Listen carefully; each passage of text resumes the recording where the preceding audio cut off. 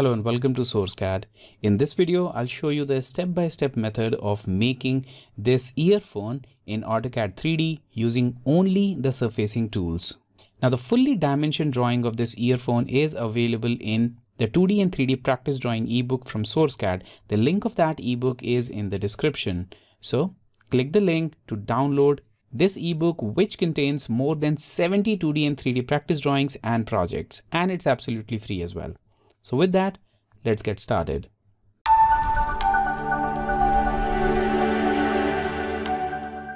Alright, so I'm going to start with 3D modeling workspace of AutoCAD and here as you can see I'm in 3D modeling. If you are not, you can simply go to this gear icon right here and select 3D modeling from this list.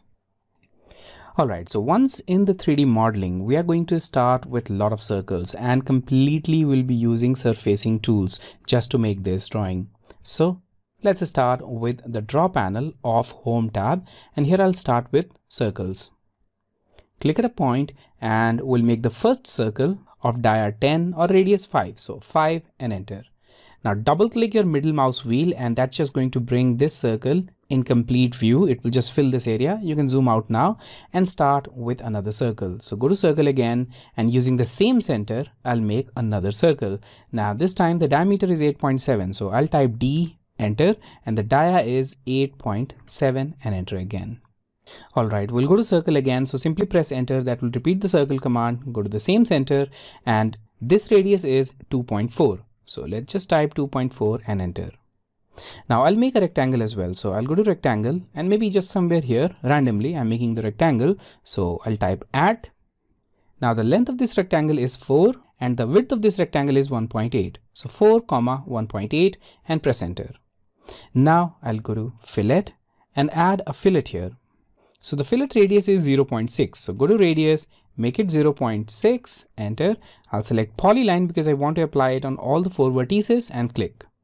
Now I'll move it exactly at the center. To do that, I'll go to move, select this rectangle with fillets, press enter, select this geometric center.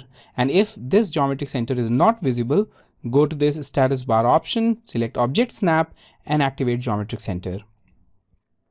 Now select this, click on this center. All right, so we are done. Now we can convert it into 3D. But before we do that, well, let's go to this southwest isometric view using this home icon and we'll move these sketches on different planes. Let's start with a smaller circle. So I'll just go to copy tool, select the smaller one, this circle and enter. Now I'll just click at this point and move it up though you can select any other point also if you want and this distance is 0.4 and enter. Now I'll move it down as well and the distance is again same 0.4 and enter. Now press escape and done now we can delete this circle which is right here at the center the circle which we used as reference. It's no longer required. And once again I'll go to now move tool. So move and now I'll select this circle. Press enter and just select any point. Any point is just fine. And move it down. And this distance is 2 unit and press enter. Now I'll repeat the process. So go to move tool select this rectangle press enter click on any point move it down and the distance is 3 and enter. Now I'll select copy, select this rectangle, enter, click on any point, again move it down and the distance is 2.5. All right, press escape and here we are. Now we've got all of these sketches on different planes. Now we'll use it to convert it into 3D. And for that, I'll go to surface. Now the first thing is loft that I'll use from this. And I'll loft these three circles. So the first circle, second, and third and make sure you're also selecting it in the same lofting order. Press enter twice and it is finished. Now it may not look clear because of the wireframe style so I'll change that. So I'll click on this wireframe and change it to realistic, shaded or something else. Maybe shaded with edges. That's going to show the edge as well. There we are. So we've got the wireframe and the surface. If it's not clear, you can even change it to shades of gray, which is much better actually. All right. So now once again, we'll select loft and once again, we are going to start with this surface. So I'll go to loft and I'll click this circle right here, the circle which we used previously.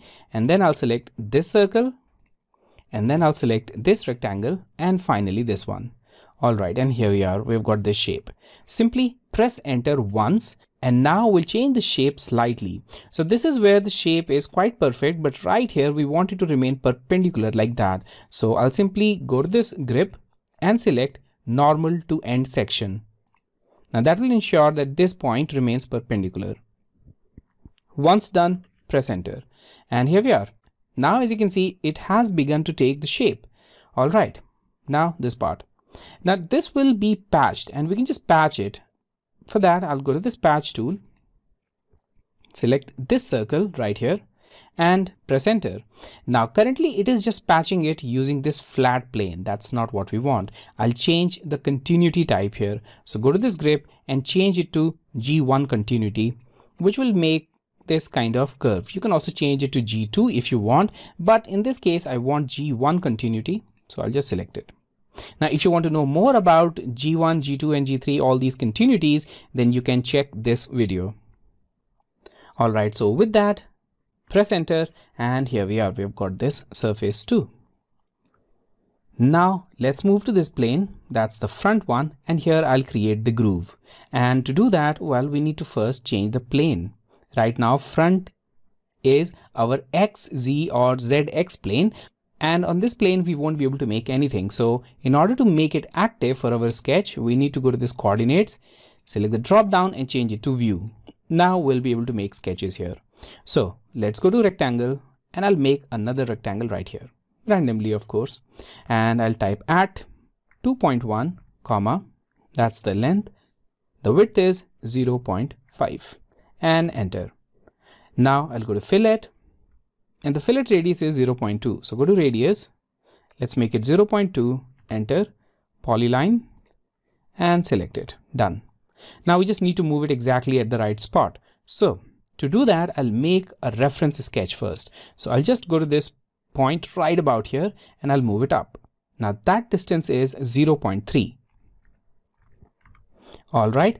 And now i'll select it.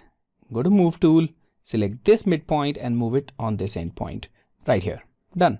We can now delete this sketch. That line is no longer required.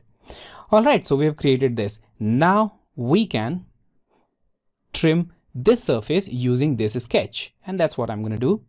So let's go to surface and here we have a tool called trim. Select it, select the surface which you want to trim. Now press enter and select this cutting curve. So this will be used as well cutting curve for this surface. Now press enter and now select the area which you want to remove. So in this case we want to remove the area that is inside. So click and the area is gone. And here we are it's trimmed. Press enter again to exit this command and that's our groove. All right. Now we need to fill this area as well as well as this area right inside using patch. We'll do it using this patch tool. So let's go to patch and I'll select this one right here. But before I do that, I'll click on chain so that all of these edges are selected. So go to chain and select any one of these edges. So here I'll just select it and it looks like it won't let me select any single edge here. So I'll press escape and I'll select this polyline which is right about here and I'll delete it. All right, now we only have the surface and I'll try it again. So go to patch, chain, and now I'll select this and as you can see, it is now clearly visible. So select it and press enter once. When you press it once, it's just going to patch it with once again completely horizontal plane that you can change using this grip. So let's just make it like that. Click this grip and change the continuity type to G1 and that's going to just give it well this kind of shape and G2 that's here so just select the type of continuity which you want so in this case I don't want this much of continuity for this so it's hard to calculate so I'll just select G1 and press enter and there we are now we also need to fill this area which is right inside and to fill this area I'll actually use loft tool. But before I do that, I'll simply delete this sketch, this tiny sketch which I used previously to create this trimmed surface. So I'll delete it so that we only have this and this surface. All right, now I'll go to home, extract edges, and I'll simply click on the surface and press enter. This will create a new sketch right here. As you can see, that's a sketch and I'm just going to combine it into one. So I'll simply make a window so that all of these sketches inside are selected, orbit this drawing and make a window again so that all of these sketches are selected too and here we are. So as you can see, these are selected. Now simply type J, enter, and now we have two separate but close splines. So that's a spline. And then we also have another spline right here. Now we can use loft. So go to surface, loft, and I'll just select this spline and then this spline right here and press enter twice. And that's joined and it's filled completely. Okay, so that's done. Now the next thing is this extrusion right here. So I'll go to this top view as we've already changed the plane. That's just going to be the top view now. And here we just need to make that. But this is not the view from where we can actually make it. We need to make it using this as a reference. So that's the plane. So simply orbit this drawing like so. And that's the plane on which we need to make it. So that's right view. Okay, right view.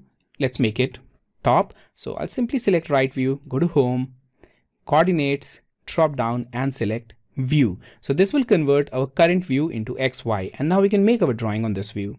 So let's go to this circle and I'll use this as a reference. So right here we had this sketch. So I'm just going to select here and I'll make the circle of radius 0.45 and enter.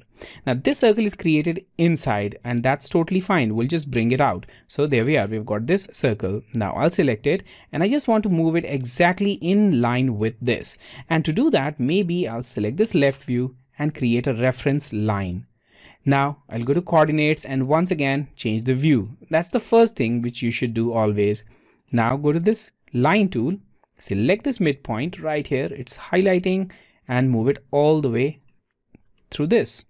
Now select the circle, go to move tool, maybe just move it out first, then select it again, go to move tool, select the center and move it exactly here at the intersection point. And now we can delete this line. It's no longer required.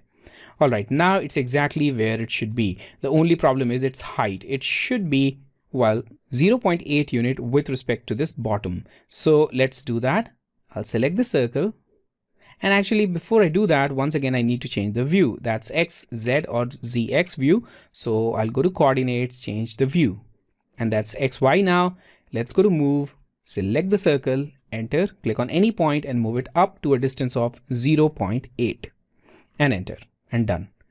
All right, so we are now ready. Let's extrude this. So I'll go to surface and extrude right here, select the circle, press enter and extrude it all the way through. Now in this case, I'm simply extruding it just by eyeballing this drawing and maybe I'll just click somewhere here. So long enough to pass this, but short enough for this groove right about here. Done.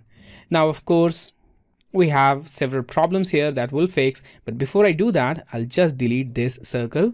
And once again, I'll patch this. So I'll go to patch, select this plane, press enter and change the continuity to G1 and press enter again. That's done.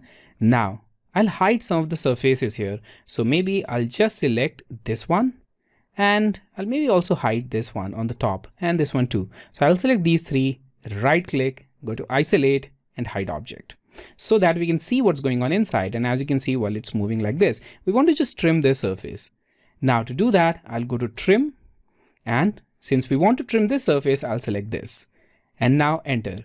Now select the trimming face and that happens to be this one. This is the one, the surface which we want to use as trimming tool. So select and enter. Now select the part which you want to remove. We want to remove this part. So click here and done. Now it will create surface only up to this point. Press enter and it is finished. So we have a clean drawing right here. Now finally, we need to make holes here at the top. So bring back everything. So right click, isolate, and select end object isolation so that everything is back in the drawing. And this is where we just need to make all those tiny holes. Now to do that, I'll go to this view, which happens to be the top one from this. And here, of course, we need to make several smaller circles first. So maybe I'll just orbit this like that. And this is YZ view. Well, let's make it XY. So let's go to this and select view. Now this is XY. So let's go to circle and exactly at the center we'll make the first circle. So we'll make the circle of radius 0.8 and enter. And of course it will hide because it is somewhere inside this drawing. So we'll just select the surface and right click and hide it. All right. And now the circle is visible. Actually, that's also not the circle. So we'll hide even more surfaces. So this one, right click, isolate, hide object. And now the circle is visible. So we have the circle, but just to avoid any kind of confusion, I'll select this surface too, and I'll hide it. So right click and hide object so that we only have these. All right. And we can see that we have several sketches too, which are no longer required. So I can just select all of these sketches and I'll delete it so that we are left with only this. So maybe we'll select this surface, this and this, and we'll hide it too. So right click, isolate and hide objects. Done. And we can delete this sketch as well. All right, so we have a fairly clean drawing and we are now going to use this as a reference. So once again, I'll go to top and I'll select circle and right here I'll track this point and click here and I'll make the first circle of 0.05 radii. There we are. Now let's go to array. Polar array.